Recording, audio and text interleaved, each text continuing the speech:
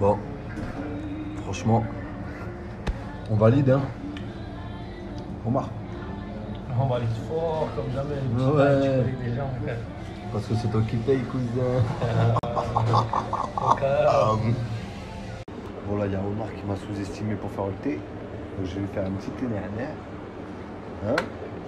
Je vais faire un bon petit thé nana que ma femme m'a appris. Verra comment je m'appelle.